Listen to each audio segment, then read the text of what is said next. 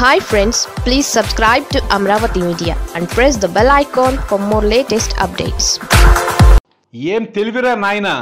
ఏకంగా ప్రజాప్రతినిధులకే బురుడి వేస్తున్నాడుగా? అమలాపురం ఎంపీ చింత అనురాధకు టోకరీ వేసిన ఓ సైబర్ నేరగాడు గురించి నిన్న ఒక వీడియోలో చెప్పుకున్నాం కదా. ఆ వీడియో మీరు చూడకపోతే దానికి సంబంధించిన లింకు డిస్క్రిప్షన్లో ఉంది. ఓసారి చూడండి. ఇప్పుడు ఆ సైబర్ నేరగాడి గురించి మరిన్ని విశేషాలు చెప్పుకుందాం. సహజంగా రాజకీయ నాయకులంటే ఎత్తులు పై ఎత్తులు తెలిసిన వారే ఉంటారు. ఇక ప్రత్యర్థుల్ని బోల్తా కొట్టించి ఎన్నికల్లో గెలిచిన వారికి ఏ రేంజ్లో తెలివితేటలు ఉంటాయో ప్రత్యేకంగా చెప్పాల్సిన అవసరం లేదు. వారు ముదులు అయితే మనం చెప్పుకోబోయే ప్రబుద్ధుడు దేశముదుడు అన్న మాట అన్నమాట కాదు. అక్షరాల నిజమే. అతడి గురించి పూర్తి వివరాలు తెలిస్తే వారెవ్వ ఏం తెలివితేటలు అని మెచ్చుకోకుండా ఉండలేం. ఎందుకంటే అతని చేతిలో మోసపోయిన వారంతా అల్లాటప్ప వ్యక్తులు కాదు మరి. ఇంతకీ అతని పేరు చెప్పలేదు కదూ? ఆ దేశముదురు పేరు తోట బాలాజీ నాయుడు. తూర్పుగోదావరి జిల్లా కిర్లంపూడి అతడి సొంతూరు. కాకినాడ జేఎన్టీయూలో గ్రాడ్యుయేటు. రెండు వేల మూడులో ఎన్టీపీసీలో జూనియర్ ఇంజనీర్. రామగుండం పాల్వంచ విశాఖపట్నంలో పనిచేశాడు. రెండు వేల ఎనిమిదిలో తణుకు ఎమ్మెల్యే పిఏను ట్రాప్ చేయడం ద్వారా కొత్త తరహా మోసాలకు తెరతీశాడు. అప్పటికే ఏసీబీ తనపై ఆరోపణలను రుజువు చేయడంతో ప్రభుత్వం ఉద్యోగం నుంచి పీకేసింది. దీంతో ప్రజాప్రతినిధుల్ని మోసం చేయడమే అతని ప్రధాన ఉద్యోగంగా మారింది.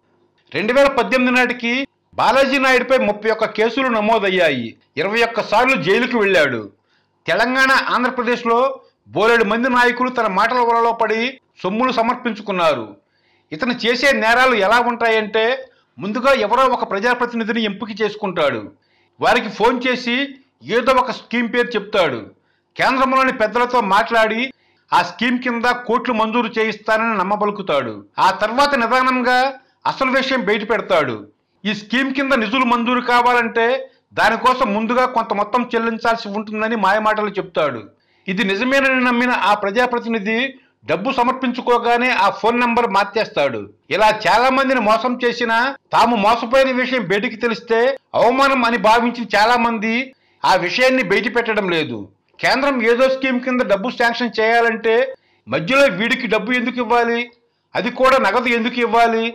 నిజంగా ఆ మాయగాడి చెప్పే స్కీమ్ ఉందా? ఇవేమీ ఆలోచించకుండానే ప్రజాప్రతినిధులు వాడి మాయలో పడిపోతున్నారు. ఆ వార్తలు ఎన్నిసార్లు బయటికి వచ్చినా సరే తను మాత్రం కొత్త వాళ్ళను వెతుకుతూనే ఉన్నాడు. వాళ్ళు నమ్ముతూనే ఉన్నారు. తను మోసగిస్తూనే ఉన్నాడు. విశేషం ఏమిటంటే తను మరీ అతిగా ఆశపడడు. యాభై వేల నుంచి మూడు నాలుగు లక్షలతోనే సరిపెట్టుకుంటాడు. ఈ మోసగాడు బాలాజీ నాయుడు కోసం పోలీసులు చాలా రోజులుగా వెతుకుతున్నారు.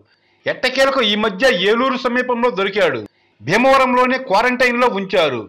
ఈ దేశముద్రు తెలివితేటల ముందు కరోనాలు క్వారంటైన్లు ఓ లెక్క క్వారంటైన్లో ఉండే పక్కాగా స్కెచ్ వేశాడు. అక్కడ ఓ వ్యక్తి దొరికాడు.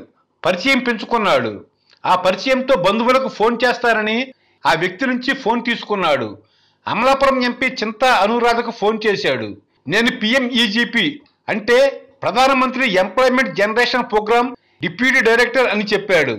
ఎంపీలకు మూడు కోట్ల చొప్పున మంజూరు చేస్తారు. యువత సంక్షేమానికి ఖర్చు పెట్టవచ్చు నాకు కొంత డబ్బు ఇవ్వండి. మీ పేరు అందులో చేర్పిస్తాను అని నమ్మబలికాడు. ఆమె నిజంగానే నమ్మేసింది. తన పిఏ ద్వారా రెండు లక్షలని బాలాజీ నాయుడు సూచించిన ఓ బ్యాంక్ ఖాతాలో వేయించింది. డబ్బులు వచ్చేసాయి కదా. ఇక ఫోన్కు రెస్పాండ్ కావడం మానేశాడు. అసలు ఆ ఫోన్ తనది కాదు. ఆ నంబరు తనది కాదు.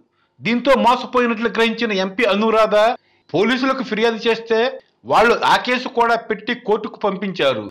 కోర్టు రాజమండ్రి జైలుకు పంపించింది. ఇది బాలాజీ నాయుడు కథ.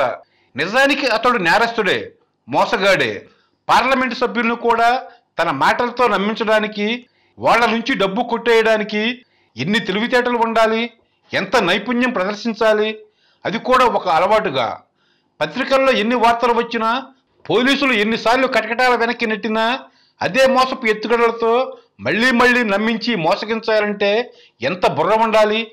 నిజానికి ఇలాంటి వాళ్ళను ఏ కేంద్ర నిఘా విభాగంలోనూ చేర్చి శత్రు దేశాలపైకి ప్రయోగిస్తే బెటర్ ఏమో కదూ?